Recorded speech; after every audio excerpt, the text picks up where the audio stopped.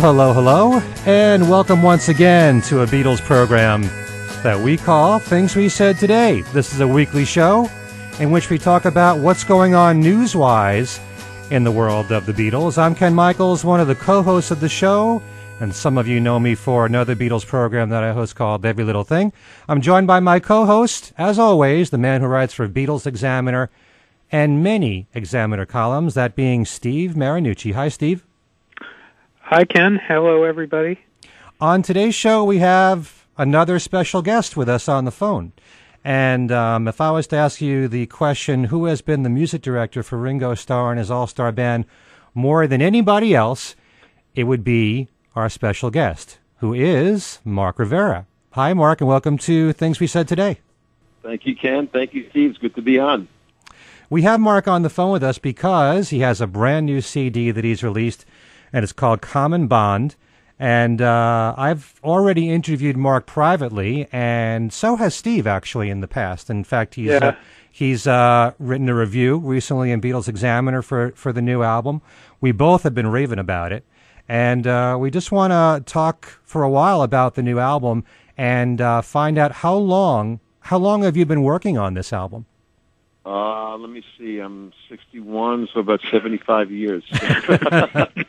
I'm not quite 60. Uh, it, it, it, the, the actual project took about a year, a little over a year to finalize. And then with distribution, we waited till we had the right group of people.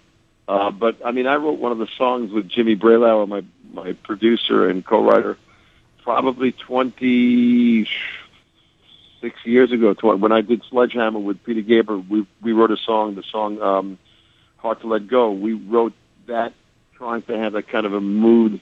So that goes back. Uh, I think I, I think I put- did the uh, So album '86. It was Hmm. probably written in '87, maybe '88. So that's a couple of years. Yeah. Before we continue, uh, I, I really should give you give our listeners more of a background on you because I only mentioned Ringo, but you have such an impressive resume. Uh, you go back to touring with Sam and Dave, as you've told yeah. me. Uh, you were in, 72. Yeah, Foreigner. You were in the band for how many years? about uh, on and off between different tours, probably from 1980 till about 1994. I think was the last date that I played with them. Yeah, Yeah, so 14 years on and off. right. Yep. Of course, most people outside of the Beatle fans and many of the Beatle fans know you for your work with Billy Joel. That's been going on for quite a while, 32 years now. That is in and of itself a story. That, that really is. Congratulations, Mark. well, thank you, thank you. In fact, uh, Billy is currently doing.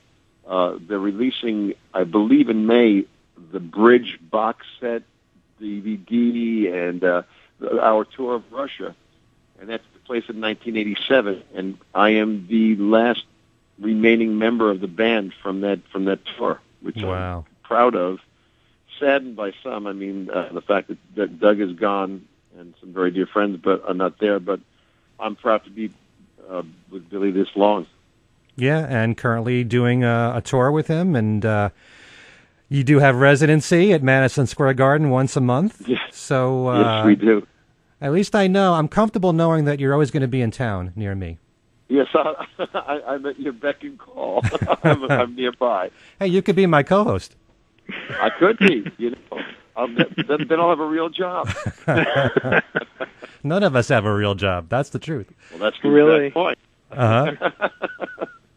Tell me a little bit about Jimmy Bralower. He is the producer for the new album, and you've had a relationship with him for quite a long time. Give us a little background on him. Uh, Jimmy and I met uh, years ago. Uh, we played in a band called Trouble with this guy named Jimmy Frank. Jimmy and I did the whole scene in Manhattan. We worked about five or maybe five or seven different clubs constantly. We'd run around. Uh, he played drums. That was his gig originally. And then as time went on, he saw the handwriting on the wall with all the electronic music and the uh, sequencers. He was uh, one of the first people, if not the first person, to beta test a Linn drum machine.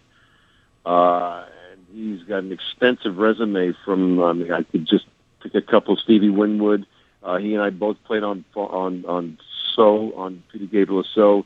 He's worked with Eric Clapton. He's done, he's done tons of work with Nile Rodgers, Hmm. Chic, and all the. Uh, God, he did the uh, all the uh, Jim Steinman productions with uh, Meatloaf. I mean, it is. Uh, I mean, I can't even begin. Madonna. Let me see. Uh, Celine Dion, just to name a few. I feel like I'm dropping names, but Jimmy's background is is extensive, and uh, he and I had been friends forever. We'd always find each other. We'd walk past each other at the power station or at the hit factory or at the record plant. He'd be doing one record, I'll be doing another record, and uh, about two years ago, Jimmy said, "Hey, buddy, it's time for you to do your record." And I'm like, "Well, I don't know." He said, "You've been saying I don't know for now over two decades." So he, it's his fault. I'm going to blame him for everything. So he basically convinced me that I had a potential to do uh, to make a great record, and uh, thank thank goodness I listened to him, and uh, I'm very proud of this. Where did the name come from, Common Bond, Mark? Uh, common bond to me is the sense of the commonality I have in my musical background. Uh, some of the songs, I mean, first of all, I covered a Jimi Hendrix song. I covered a uh, Fleetwood Mac song. But my some of my favorite music from back in that day was uh, Traffic, which one of the songs, uh, Start Over, I think, is reminiscent of that. There's some R&B roots. There's some, it, it, it's a collection. What I have in common in the, the gathering of all my common uh, musical uh, genres, and the fact that I was able to ask very dear friends. Uh, I mean, I, I asked Billy Joel, I asked Ringo, I asked Nils Lofgren, Steve Lukather, would you play on my record? And each one said yes. And there was a thread that just went through.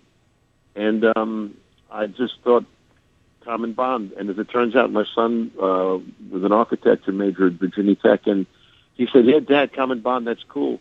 That's how when people make a, a house, they, the bricklayers lay the brick off center, and it's common bond, it keeps it stronger. And I thought to myself, wow, that's even cooler. It's a, it's a sense of making something to last. So it just seemed like a natural natural thought for what I was hoping to create with this record. Who's on the album besides Ringo and Billy? There's the, the rhythm section is Charlie Drayton, who's played with a ton of people. Uh, and he's most he's well known for his work with uh, Keith Richards. He and Steve Jordan switched off between bass and drums. He played with Keith. He played with uh, Fiona Apple. He played with Paul Simon. Uh, he, he's uh, he, he was the hardest guy to, to, nail down for rehearsal, and, um, and, and as well as the um, the actual recording. But I'm very pleased that I waited. Is uh, Charlie Drayton, Steve Conte on guitar. He's played with the Dolls. He's played with Eric Burdon. His brother John Conte, uh, Jeff Kazee played keyboards, and the one of the, the other co-writer on a lot of the material is Johnny Gale. He was uh, the glue of a lot of the rhythm section stuff. Johnny and Jimmy had worked uh, together on a Ryan Shaw record for some time. I don't know if you're familiar with Ryan, but uh, aside from that, Will Lee played bass on one song. Robert Randolph played on a song. I'm trying to think if there's any. Uh, Catherine Sultan uh, sang backgrounds on one of the songs. Uh, I think I've named everybody. oh, and, uh, uh, just to, just to name a few, and of course the, the, the co-writer Karen Mano, a great songwriter who wrote the beautiful closing song "Rise." So uh, that's about all I have to say about that. It's, it's such an impressive uh, lineup of musicians right there. I, I do want to say about uh, the production. I think it's just superb. I mean, what I uh, apart from loving the songs, I think the mix is just so perfect because every every Oh. musician gets to shine at their own instrument when it's That's necessary. very that's very kind of you to say, and quite frankly, I have to give complete complete kudos to Jimmy Bralower. He, I mean, I go in there and play a guitar part, and I go in there and play a sax part, and I go in and play I do a vocal or whatever I did, and like, hey, I got to go, got to go do a gig, and he'd work literally hundreds and hundreds of hours. I mean, I, I, I don't even want to tell you how many hours. If I, he might even say hundreds, more like a thousand. uh, it was the true, truest labor of love. Um, I've never seen anyone so delve so deeply into a project. And um, he he called me at, late at night. Hey, buddy, got another mix for you. And he'd have like five mixes of the song. And I'm like, what am I listening for? He goes, well, you didn't notice I took the guitar back here.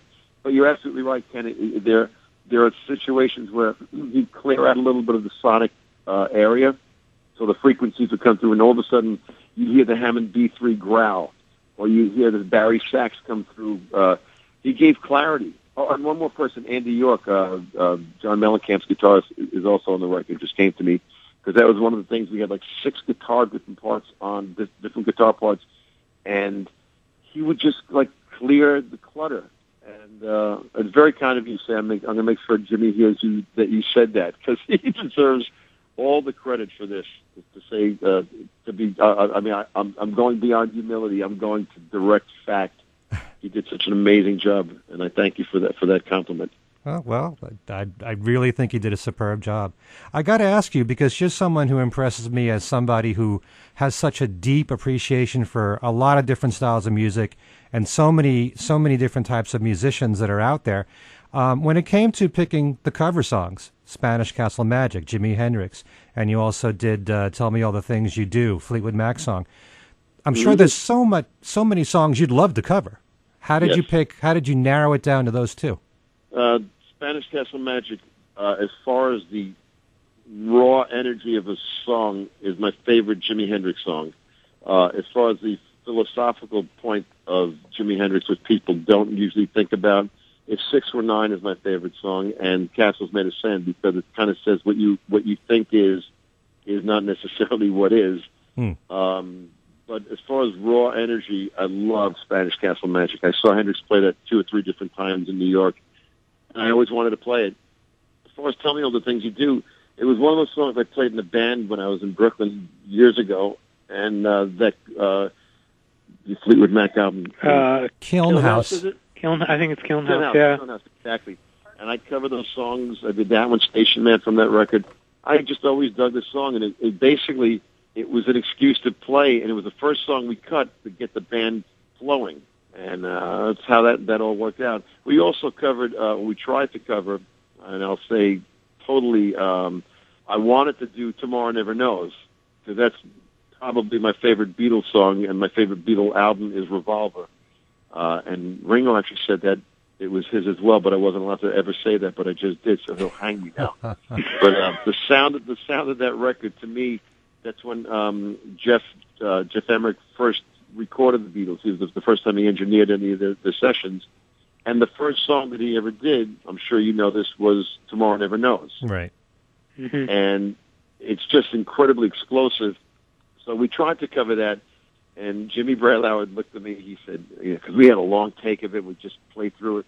He said, "Buddy, it's a real nice exercise, but you're never going to do what the Beatles did." So then I tried to do another cover of it, like playing this real detuned guitars and droning with Chasm and myself, and that was close, but it still never cut the mustard. So, and then we tried, we covered, we did cut, and we may do it eventually on an, uh, uh, uh an EP of "It Don't Come Easy." It's kind of like, uh, it's kind of like Ringo meets uh, Neil Young's uh, Cinnamon Girl, but it's it's just a different twist. But those songs, uh, the, the short answer, it's. I mean, there's so much great music out there, and this band. I wanted to hear Charlie play Spanish Castle Magic. It's kind of like my own little. Gee, I have Charlie Drake. What will I? What will I ask him to play? yeah, I got to tell so you though, that's how I, that worked out. I love the guitar playing from uh, Steve Conte on "Tell Me All the Steve Things Conte's You Do." a monster. You know, it's it's got such a great groove. That song. I I agree. That is a that, that's a, a wonderful cover. Wonderful. Uh, I, I thank you. I'll, I'll tell you, talking about aggressive guitar, his solo on "Turn Me Loose" is one of the best. I mean, Steve Lukather heard that uh, about a year ago. He said, "Dude, who's that guitar player?" I'm a fan. He was like so into it. And I told Conte that. He goes, "Yeah, Steven, I knew each other because he said he liked me." He's like, really. Again, these guys are all we're all so like insecure. Uh, uh, you know, it goes beyond humility. It's like really he liked it. So, but uh, Steve's great. In fact, I have a gig coming up March 27th at the Cutting Room, and I'll be there. Uh, uh, out of sight, out mm-hmm. of sight, and and the band is going to be Steve Conte on guitar, Charlie Drayton on drums, uh, Johnny Gale's playing second guitar, or they're going to be whoever's playing first or second guitar is irrelevant. The two, those two wonderful guitar players Zev Katz, bass player extraordinaire, is going to be playing bass, and my very dear friend from uh, from Evergo, Bette Sussman, will be playing keyboards, and it's gonna it's gonna be a great. It, the band is like stellar, and uh, I'm really looking. Those are the five people I had like talk about herding cats to get them to, to figure out what we could rehearse. Yeah, that's uh, a smoking band right there. I can't wait to see it. I'm, I'm, I'm, I'm, I can't wait to get. I can't wait to throw it down. that's that's oh, that's going to be great. Let me ask a question, Mark, about about if we could talk about Ringo and the All Star Band. I know I asked uh, Edgar Winter this uh, question a couple of years ago, and, and uh, what kind of boss is Ringo as far as the All Star Band goes? Does does each man in the band have their choice of songs, or does Ringo pick them? How does that how does that work? Ringo, first and foremost, is the most fair human being I've ever met in my life. He, it's it's basically his his only criteria for picking songs is that they were hits. He'd like to play the hits that people know, but he also wants to play the songs that are fun for the particular band. And I kind of go in between, like you know, the hit versus the. I mean, I, I'm a fan, and uh, I'll give you a perfect example. When Greg Lake was in the band, uh, Karn Evil 9 was a lock. Lucky Man was a lock, and I think he wanted to do from the beginning.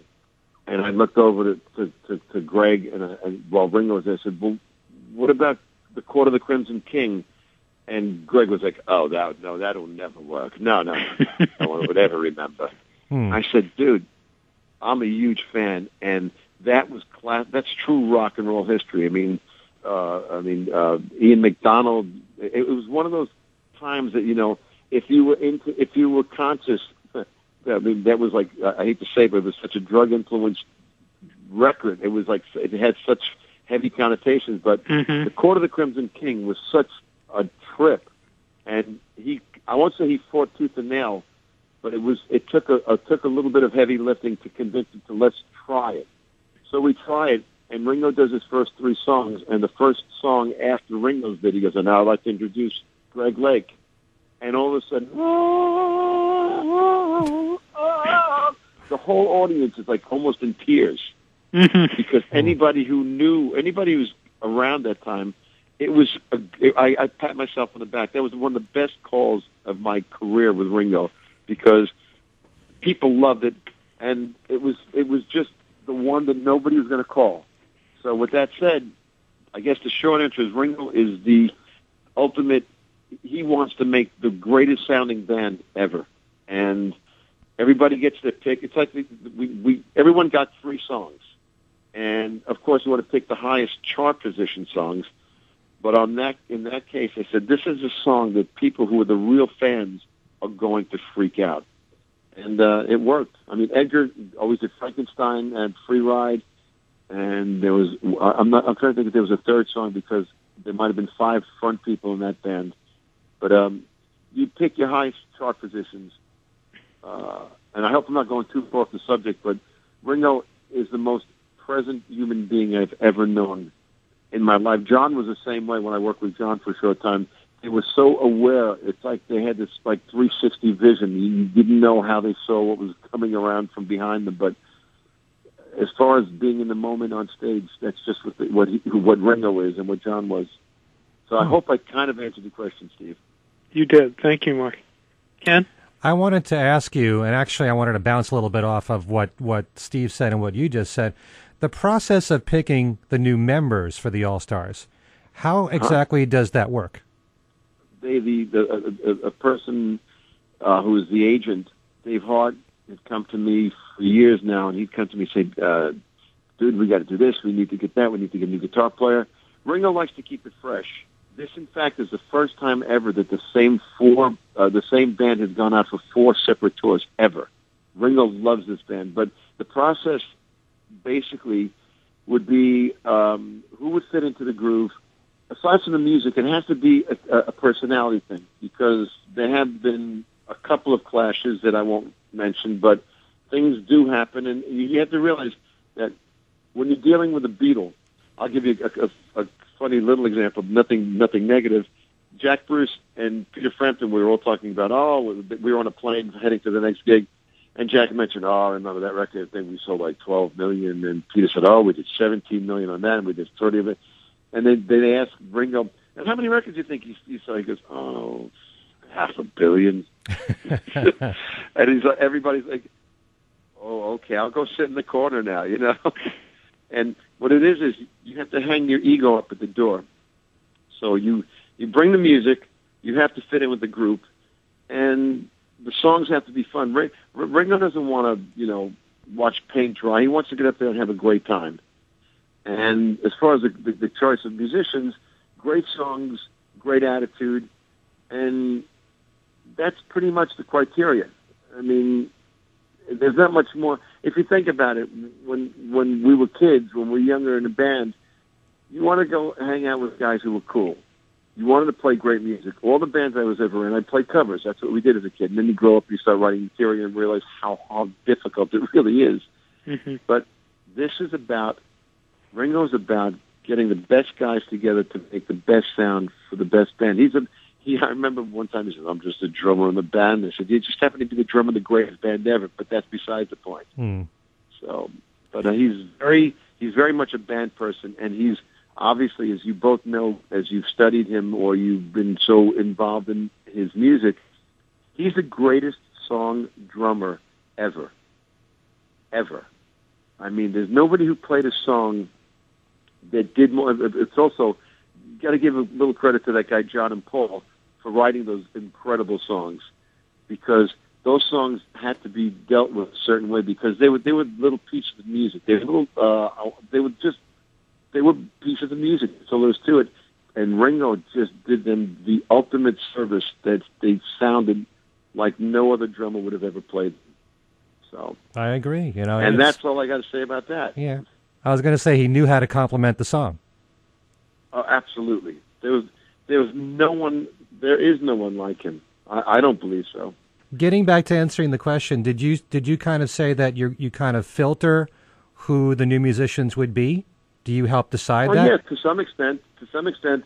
I mean, they'll they'll once in a while they they throw uh, they throw a musician at me, and I just know that it was wrong, and I won't give any cases and points. But uh, you have let's say let's say you have a nucleus. You have Ringo, you have Gregg Bissonette, who I love, and for some time now Richard Page has been the bass player. So we needed a guitar player, uh, a keyboard player, or two guitars and a keyboard. And when they first mentioned Gregg Rolie, I'm like, I don't know. I, I got to think about this. And then I, I thought about it for a second. I thought these amazing, soulful songs being played by Steve Lukather. And I said, really, you had to think about that? So that that just came together. There have been situations where I didn't think it would work, and it did. And there have been situations where I thought might not be the best, and it wasn't. They're just hit and miss. I mean, they're, they're, they're, that's why that's why some guys last for one tour, and some guys have lasted six or seven tours. Huh. Well, I just I wanted to comment about because you were mentioning Greg Lake before. To me, Uh huh. Because I, I love great singers, and to me, Roger Mm-hmm. Hodgson is one of the greatest. I Uh, love Roger. to have that tour with him and Greg Lake and Howard Jones and Sheila E. Mm-hmm. Uh, you you would look at a list like that and say, these musicians, how could they connect? There are different decades, And- and- different and Eddie, styles. Eddie and Hunter to that. Eddie Ian and Hunter to that. Said, Yeah. What are you crazy? In fact, it's funny you mentioned that because I did say that. I said, I don't think I don't know about this. And sure enough, we got together, and it was it was magic. It was really magic. You know, some some lineups look very strange on paper, but then you watch it and Mm-hmm. it's like it's it's amazing to combine in the court of the Crimson King with the glamorous life. I mean, Exactly. you, you, you couldn't. You know, you would think there's no way this could possibly happen, and you're absolutely right, Ken. It it, it does take it takes a while, and uh, but um, it, it it's it's it's incredible. I mean, some of the lineups when I first heard them, I'm thinking to myself, "Wow, this guy really just wants to put a band together because he wish wants to put this band out there." But what it comes down to, the more eclectic it was, the more bang for buck anybody came to see a show because you had five bands that you were hearing the the creme de la creme, hmm getting 10, 10 or twelve Ringo songs, Beatles Ringo songs. Then he had two or three songs each of these other four musicians. It was like going to five concerts in one, and I'm sure everyone says that, or you felt the same way. Am I correct, both of you? Mhm. Steve, Yeah. Ken? Oh yeah, oh yeah. So, you know, I, I love all the lineups, but that's that's the most memorable for me. I like eclecticism. You know, Uh-huh. there there are probably some people who prefer the Jack Bruce, Gary Brooker, Peter Frampton, and I, yeah, I love no, that I too. remember. I remember that, uh, Ken, and that that one uh, has a big memory for me. As does the the you know the first bands with uh, Billy when Billy Preston was there. Oh Yeah. yeah, Uh, man. I- but the, I'll, I t- miss I'll Billy. tell you the one name that comes to mind, and you mentioned her just now was Sheila E. Uh-huh. That was her her two tours with her tours with the band were just amazing, and and I've been one. I keep hoping that at some point she's going to come back. Is there any chance that she might come back? Uh, I can't say that I know anything or a crystal ball, but I don't think so. Okay. Because I think Gregg Bissonette, basically, Greg and Ringo are so solid together. I've n- I don't know. It, I mean, Greg knows when Ringo accidentally hit his uh, when he dropped the stick in, in a recording, if he ever did. Greg Greg studies Ringo so so precisely, and uh, Ringo loves Greg, and it's it's a mutual thing. I look. I- That doesn't mean what, what I could see happen someday, and uh, I don't think it's out of turn to speak. Would be the best of the the all of the all stars or the best of the all stars, and have a band with like you know three guitar players. Have a Peter Frampton come back. Have a, uh, I mean, you mentioned uh, Roger Hodgson. You mentioned the- there's some amazing musicians that have passed through this this band, and Mhm. unfortunately, a, a, a, a fair amount of them are no longer with us. From from Levon to, to Danko to, to Billy Preston, they, they all and John Entwistle. I mean, the first band that I ever played with with Ringo was um, Zak Starkey played drums, uh, Randy Bachman, Mark Mhm. Farner, Felix Cavaliere, and unfortunately John Entwistle and Billy Preston, who were both passed. right. Right. I, I remember. I remember that tour too. That was a great tour. you know, it, it's so difficult because like it's like children. You know, I have two sons, and I, you know, I, I love them both more than air, and you can't say you love one more than the, than the other. But there's certain things one will do, like, oh yeah, that was, I remember you did that. I'm, I'm, I've been with like nine different incarnations of this band, and the ones that stick out to me, I still have to say this current lineup for my own druthers is my favorite because the musicality is like nothing I've ever heard. People doing their homework, but I'm with you on the Jack Bruce uh, and Peter Frampton tour. I mean, I also got to play. I got to play the, the organ on Whiter Shade of Pale next to Gary Brooker every night. Mm. How much fun was I having? Yeah. You know what I mean? and then you talk about the same band with Sheila E. and and uh, Roger and and um, and Howard Jones. Howard Jones played Karn Evil 9, which has more synths and keyboards and stuff on two keyboards. A big one, big um, I forget what they call it, like a, like a master keyboard, and a little Casio. He had a little Casio to extend like two octaves that he couldn't get on the other stuff. But the, he played everything, and she killed that. I remember watching her from behind stage one time, her silhouette on the on the scrim, Right. Mhm. and it was like it was like watching uh, something out of the Muppets. It was insane, and that band that band too sticks out in my mind. So If anything, uh, you know, what you're saying, it gives you a deeper appreciation for all the musicians in that band because you wouldn't associate Sheila E. with a song like Karn Evil 9. no kidding. You know, and, and she nails it the same way Howard Jones Oh, nails it. It's, that's the beauty of it all. Yep, And I, yep. and I, and I also think uh, same thing with Ed- Edgar Winter, the one with with his tours with the band. Oh, I mean, he was it's amazing. yeah. just just amazing. I mean, Edgar Edgar is one of the true. I mean, he's one of the most talented human beings I've ever ever met. I love him as a friend and as a player. He's um, he's deep. He's just deep. He's got such a, in a, in a is expensive. He's got the most incredible scope of music of anyone I know. He'll play uh, he'll play bebop. He'll play uh, funk. He'll, he he turned me on to this guy. Um, God, I can't. I can't. Uh, uh, uh, um, Israel Hol- Houghton, I think his name name is. Tremendous gospel singer, and then then he'll turn around and play bebop, and then he'll turn around and play. Uh, one of my favorite bands of all time. Uh, when I was a kid, I saw White Trash open up for Emerson Lake and Palmer. Mm. White Trash killed the night. It was I'll never forget. I said, "How is that possible?" And then, then wow! I mean, be- between Edgar and Jerry Lacroix, it was like I wanted to be in that band. I wanted to have a band that had that type of intensity.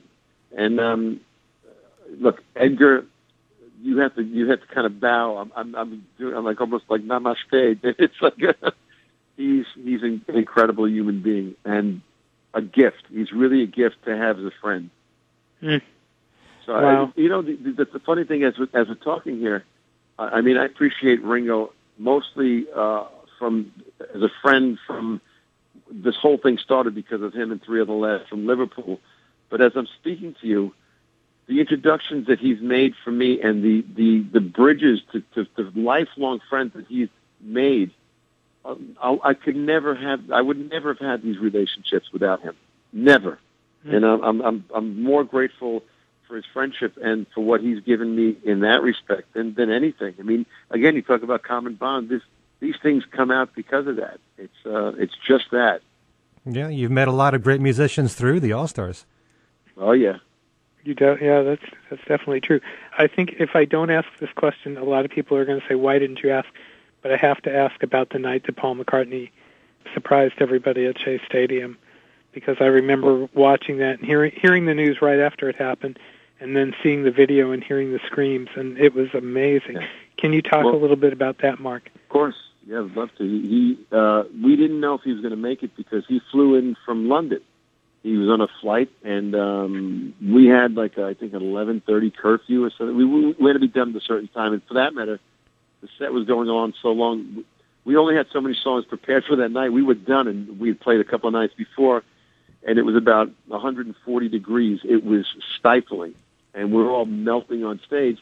And we came up for the first encore. I'm like, the plane just landed. I'm like, oh man, the plane just landed. He'll never get here. As it turns out, the plane landed, and they got from the tarmac. They had driven him straight out of there through customs like it didn't matter.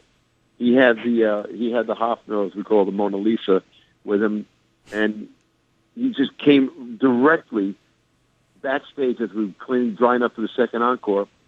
He fixed his black tie and came up. It was like within 15, maybe 20 minutes from the time the, the, the plane landed. And it was like, is he here? We don't know. Is he here? We don't know. We, we thought he's going to, we knew he wanted to try to make it. And he landed, and it was all over. It was, uh, it was incredible. It was just incredible. And then Billy, the ultimate, I mean, you talk about total class. Closing Shea Stadium, he packed two nights of over over 120,000 people. And what does he do? He tells Paul McCartney, "No, you close this set." Who who would do that but a Mhm. gentleman? Hmm. It was it was one of I'll never forget that because it was the last song played at Shea Stadium, and it was Paul closing it out. Uh, it, it's it's it's it blows my mind to this day how that happened. Those are two people that I wish would would uh, you know do more work together, especially in Oh. the studio. It would be a dream come true. There's so, there's a In the lot of studio, similarities, you know. Well, I would love to have the two of them do like a, what, what Billy and Elton did. I mean, Billy and Paul would be insane. That would be to me. That'd be like uh, uh, I wouldn't even know what to do. I to play with Paul's band as well. I love I love Abe, and I'm good friends with Wix. So it's, uh, it, you know, you never know. Hmm. Um, We'll. I just wanted to ask when it came to the All Stars, when you had rehearsals, when you were ironing out the songs that you were going to do on each tour, were there any songs that were big hits and you thought, oh, definitely, we're going to go with this, and for some reason it didn't work? Not really. I mean, uh, certain people would try to rearrange their songs, and I'd hate it. But that's just my choice. That's my my opinion. But uh, you know, we we constantly ask Ringo, "Would you play this song? Would you play Octopus's Garden? Would you play uh, Oh My My?"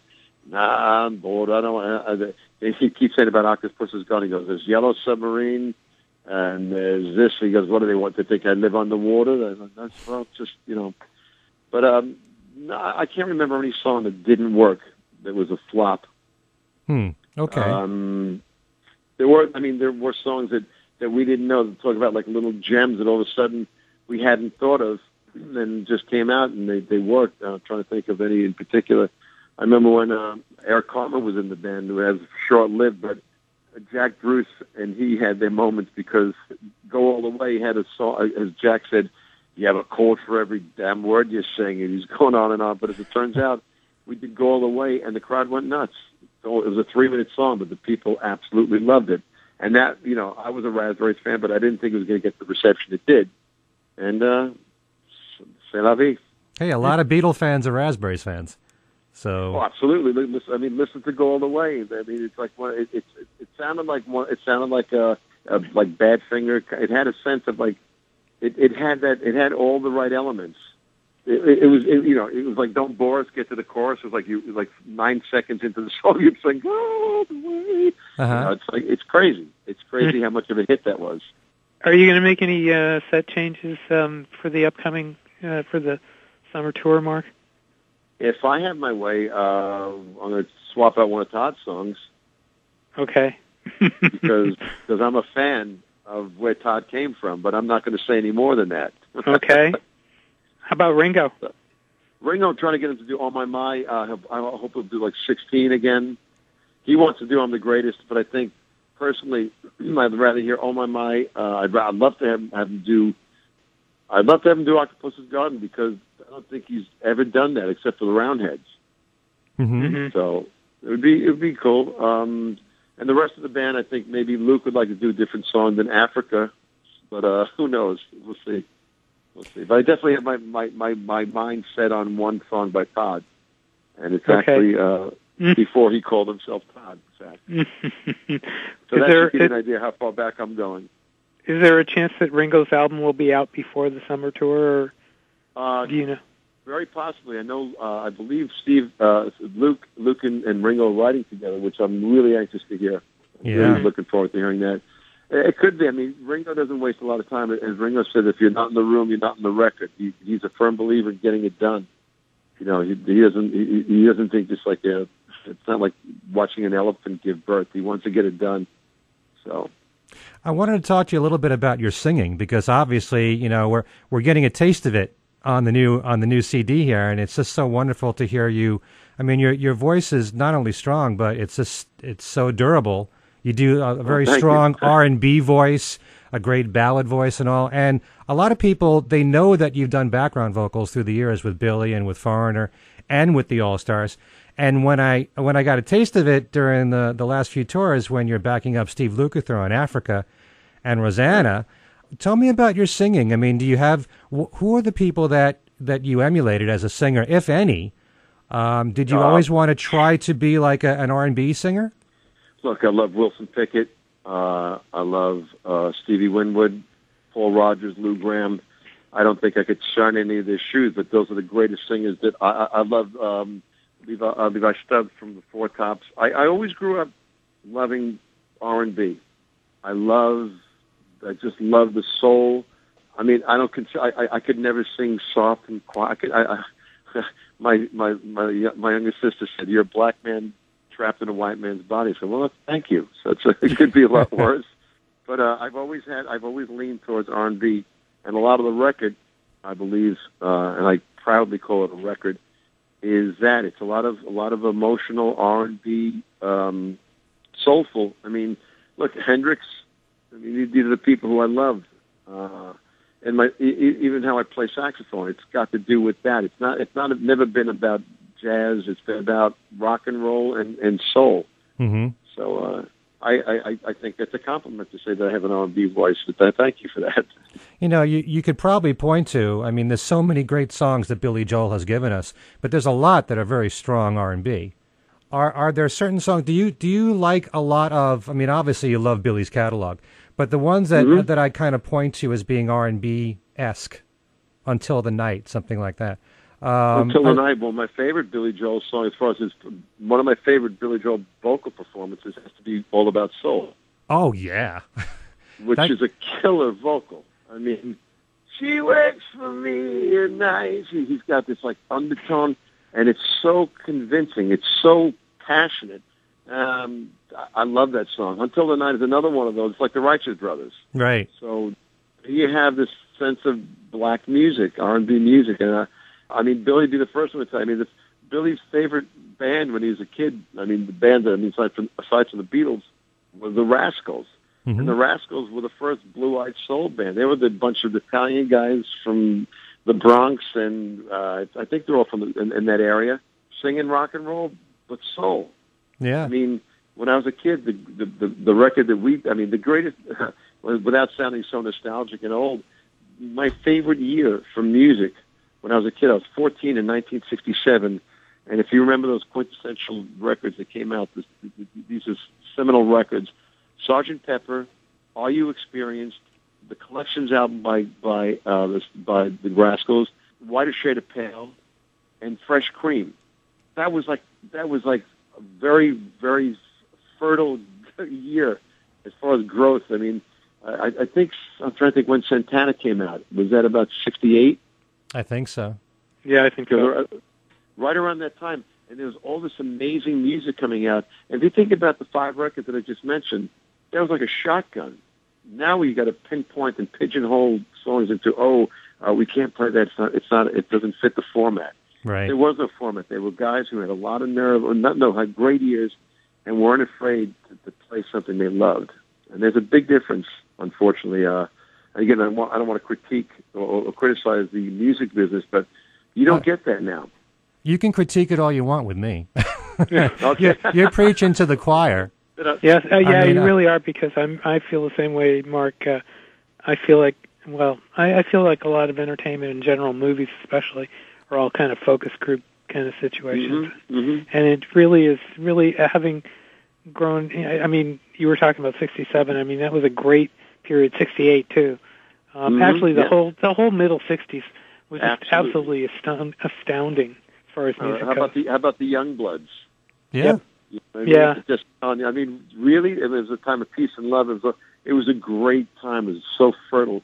And I, I'll tell you, uh, with that, with that point, uh, Steve, Jimmy Bralower pointed to me. He said, he said, buddy, we need to do a record for people who are not being served.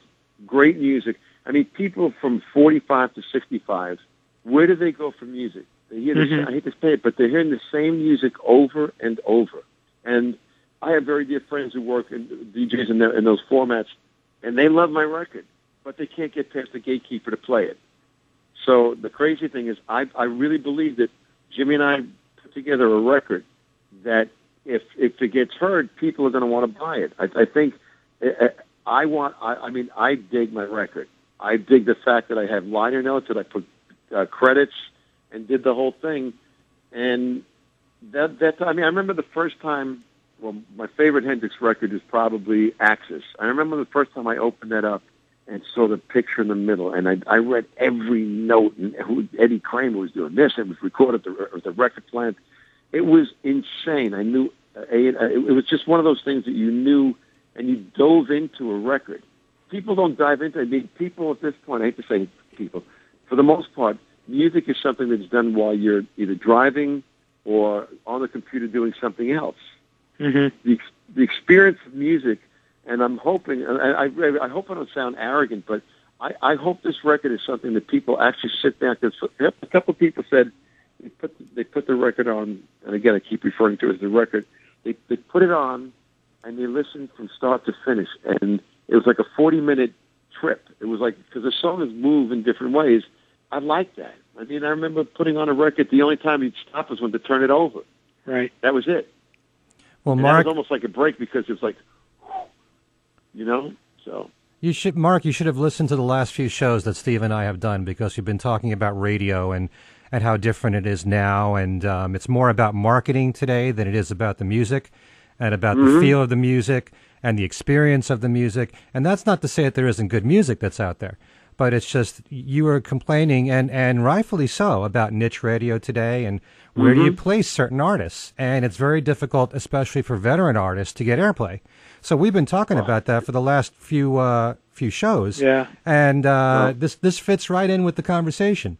And you Well, know, I'll tell you if if you wouldn't mind. I mean, if you have a moment uh, in the future, if you want to talk to somebody, I'd love for you to, to to speak to and to meet my producer Jimmy Bralower. He would he would he would be a great guest. listen, I Mark. mean, he's got this depth. He, he's wonderful. And if you if you're interested in spending a half an hour with him, you guys you guys should know him. Uh, his background, his insight. Uh, he worked at, at Atlantic Records for years, and he would come. Look, I'm not gonna I'm not gonna throw, throw stones too much, but he would he would hear great music and it's like, oh no, it's not gonna fit. You know, Uh-huh. where do you go? So, but he, Right. he'd be, a gre- I believe he'd be a great guest. And uh, hey, hopefully, hopefully this record gets heard because it's it's my life. I won't say like you know I'm not going to be impoverished, but I really would love for this record to at least see the light of day and give it a shot. You know, I'll, I'll leave you with one more thing because Jimmy keeps his his words resonate in my brain. he, uh, everything starts with Buddy. Buddy, did you hear Bruce Springsteen's South by Southwest uh, keynote speech? You familiar with the one I'm talking about two years ago? Okay. Are you familiar, Steve? Uh, a little bit, yeah. Okay, if you get a chance, when and, and this is this is just religion, man. Bruce Springsteen giving the, the, the keynote speech at South by Southwest. I think it's two years ago now. He talked about how the difference between current young people making music. In other words, if you own a computer, you're you're a producer. If you own a camera, you're a photographer. You know what I mean? If you have a guitar, you're a musician. He said when we were kids, we didn't dream in our wildest dreams that we'd ever be even close to shining the shoes of these great people. And he cited Eric Eric Burdon as his influence for everything he ever wrote. We got to get out of this place was Born to Run. Everything that he ever played or ever wrote was something from an animal song. And it's really poignant to hear that because not enough people are willing to do the thousands of hours. How many how many shows do you think the Beatles did before they played the Ed Sullivan Show? 6 Mm-hmm. Oh. thousand. you know, Yeah. what I mean? These, I mean, Ringo tells Well- me stories about how a windshield was blown out, and they were driving through Germany for five hours with, the, with a hole in their windshield. They they they did everything. They they did all their they did all their hard work. Forget the the ten thousand hours. That was for real. Those guys. I mean, I'm reading uh, in time now uh, Mark Levinson's book. Have you read that? I'm sure. You mean Mark Lewisohn's book? Yeah. I think Mhm. it's Levinson. Mark, Le- thank you, Steve. yeah, no, that book. Yeah, right. Well, have you, you Okay. read that, right? Yes.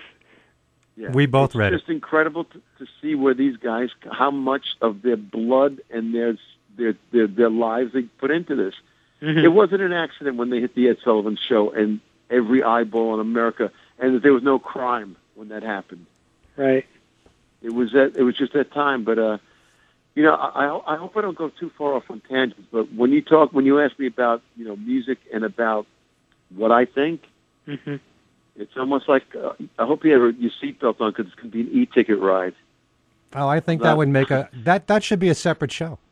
And and anytime Well- you want to talk about it, because I wanted to discuss with you myself your feelings about the music industry today, because you've been in it for a long time, you've seen the good and the bad. You know, we're living in a digital age now, and things are so different Right. from the way radio used to be. Radio is so niche oriented now. And like I was Mm-hmm. saying, it's more about marketing. It's more about knowing who your audience is, who your demographics Right. are. All that stuff has got to be put into all the thought behind it instead of just playing the music and enjoying it and Right. experiencing it. Do you think we're better off or worse off for that reason? Uh, I, th- I think it's a double-edged sword, honestly, Ken, because the technology, technologically speaking, we have the ability to do pretty much anything, but unfortunately, pretty much anything can go on the radio, or pretty much anything has the same shot. And w- w- there's a level of mediocrity that I don't like at all. Mm-hmm. There's some, if I could be so bold, there's some crap out there that in the 60s would never have been played. I mean, and we're going back at a time when Country Joe and the Fish were playing, doing these trippy songs, but it's just some sappy crap that would never have seen the light of day. And again, it's this race for uh, the race for the bottom, is it, or the race for like you know the the, the, the, the most lowest common denominator? Yeah. hmm And I'm I'm not up for that. I, I really believe. I'm telling you, we could have had this record out over a year ago, but Jimmy would not allow it. And uh, I'll say it again: you have to get Jimmy on the show. You will. You would love his insight. I, I just have to see if I could curtail his cynicism to some extent, so we so we don't we don't totally alienate ourselves. But the guy is so incredibly knowledgeable, and everything they can about his production, I give it up to him. I, I, I raise my glass to him. Uh, this this record would have been a good record, and I really, without in all in all humility, I could say this to me is a great record because of his effort. So uh, Okay. I don't know when you might think about doing that, but um, I'd like to have both of you guys back on together. I think that would be a great, a I would great love idea. that. In fact, what we could do is I'll, uh, I'll, I'll what we'd love, what I'd love to do would be to have possibly the two of us at Jimmy's house in Long Island, and maybe play some. If we could play little snippets of different things that he's done, and with with where germs came from from the songs, and how savvy this guy is. Hmm. I mean, he, I mean, his. I, I've just barely scratched the surface with his credits. I mean, the two of us have played on, geez, hundreds of millions of records. Honestly, hundreds of millions of records that, we, that have been sold with our name on it. is there a way we could consider doing this again? Steve, Steve would be a pleasure. Ken, sure. Let me let me ask one more question about the album because no, I was going to. Of course, um, are you gonna uh, are you gonna do besides the cutting room gig? Are you gonna do any other promotional things for the album? Absolutely. I'm doing a, what I'm doing is every time we play in a big city, uh, I'm going to call it my Acela tour because the Acela train goes from like Boston to Connecticut to New York to New Jersey to Philadelphia to D.C and we're playing. Uh, we'll be playing Fenway Park. We'll be playing National Park in D.C. We'll be playing a park at Lincoln. I think it's Lincoln Field in Philly. What I want to do is every one of those cities, I want to go in with a band and have them get on a train uh, the night after or the night be- probably two nights before or the night after. Probably the night after Billy's show would be the best because uh, there's there's so much stuff going on before. But I want to go in there and go into radio stations. I want to go and do live stuff. In fact, uh, you gentlemen know uh, Mike Marrone, right? I know the name from um, um, XM from, and from Sirius. Yes. Mike has championed this record. He's played five or six songs already from this record. He loves this record, and he wants me to come down and do a show with the band down there. And I'll do a gig in, in D.C. at the same time. I'll go do a gig uh, in Philly. So the, the short answer to your question, to your question, Steve, is yes, I will be doing. Uh, I will be doing a bunch of promotional gigs. I can't call it a tour because it's impossible for me to say I'm going to just put a, a whole machine together and do a tour because of the fact that I'm working with Billy. And again, that's the greatest, again, champagne problem, as Nils would say, to have because while Billy's out doing his thing, I'm able to do some radio, some press, and uh, God willing, get get out there and play in front of some people. And it, it's a wonderful, wonderful vehicle being on this tour. We're playing, uh, I mean, we'll be playing a couple of gigs to like 65, 70,000 people. And if a slight awareness could be generated from my record, I'd be one of the happiest people on this earth. Well, Okay. we wish you the best of luck, Billy. Uh, uh, Mark, Billy? Uh, Billy. Well, Mark, Mark, Mark, I, we Mark- wish you the best of luck, Mark. It's a wonderful record, and anyone that hasn't heard it, Ken and I have both reviewed it, and we both love it, and we both give it Well, a, I- a high recommendation. I thank you both so much for, for your kindness. And uh, you know what? There are people who are still listening, and that makes me very, very happy. so then we'll figure out a time when we can do this again. Mark, thanks so much for joining us, and uh, we will have you back again soon, and hopefully with Jimmy. You got it. And again, gentlemen, Beatles songs, the things you said today, one of my favorite ever, and you know that. God bless you, gentlemen. Thank you, Mark. Okay. Thank you, Steve. It's a pleasure. Okay. All right, this has been great. This was, it was it was that was a wonderful conversation. I enjoyed that immensely. Yeah, great to have Mark Rivera with us.